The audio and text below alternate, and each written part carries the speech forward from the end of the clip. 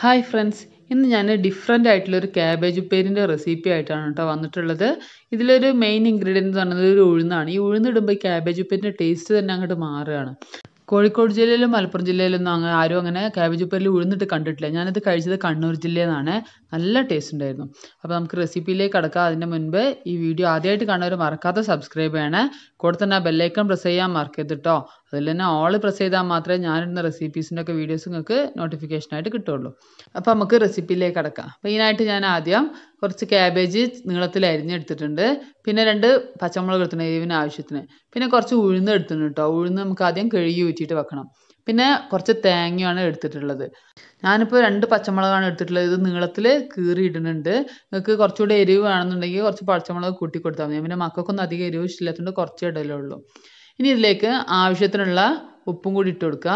പിന്നെ ഒരു പിഞ്ച് മഞ്ഞപ്പൊടി കുറച്ച് കളർ കിട്ടാൻ വേണ്ടി ഒരു കാൽ സ്പൂൺ മഞ്ഞപ്പൊടിയും കൂടി ഇട്ട് കൊടുത്തണ് ഇനി ഇതിലേക്ക് നമ്മൾ നേരത്തെ ചിരവി വെച്ചിട്ടുള്ള തേങ്ങ ഇതൊരു അരമുറിന്റെ അടുത്ത് തേങ്ങ ഉണ്ട്. ആ തേങ്ങ ഇതിലേക്ക് ഇട്ട് കൊടുത്ത് ഇനി നമുക്ക് നല്ലോണം ഒന്ന് തിരുമ്മി എടുക്കണം.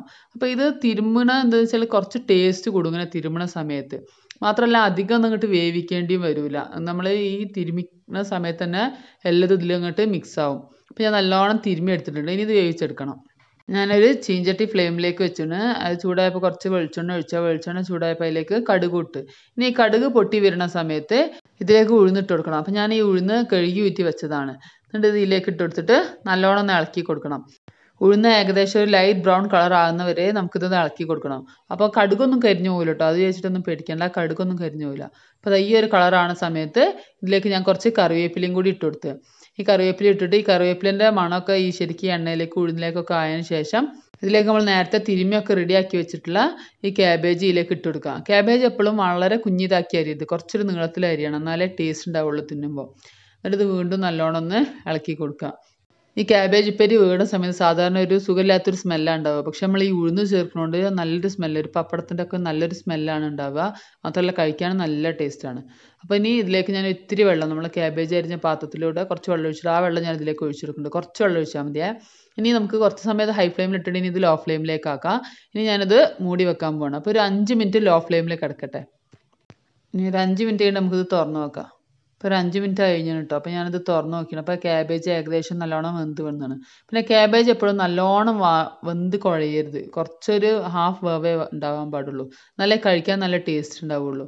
അപ്പോൾ നമ്മളെ ക്യാബേജ് ഏകദേശം റെഡി ആയി വന്നാണ്. അപ്പോൾ ഇത് വെന്തിട്ടുണ്ടോ എന്ന് ഞാനൊന്ന് കടിച്ച് നോക്കുന്നുണ്ട്. അപ്പോൾ കുറച്ചൊക്കെ വെന്തുണ്ട്. അത്യാവശ്യം നല്ലോണം വെന്തുണ്ട്. അപ്പോൾ ഈ ഒരു വേവ് മതി.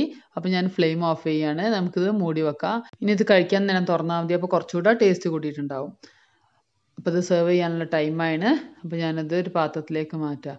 അപ്പോൾ ക്യാബേജ് വേവിക്കുമ്പോൾ ശ്രദ്ധിക്കുക നല്ലോണം വെന്ത് കുഴയരുത്. അപ്പോഴാണ് ക്യാബേജിന്റെ കറക്റ്റ് ടേസ്റ്റ് കിട്ടുക. പിന്നെ ഈ ഉഴുന്നിങ്ങനെ ഇടയ്ക്ക് കടിക്കുമ്പോൾ നല്ല ടേസ്റ്റ് ഉണ്ടാവും. അപ്പോൾ എല്ലാവരും ട്രൈ ചെയ്തിട്ട് അഭിപ്രായങ്ങൾ അറിയിക്കാൻ മറക്കരുത് കേട്ടോ അപ്പോൾ വീണ്ടും കാണുന്നവരെ എല്ലാവർക്കും ബൈ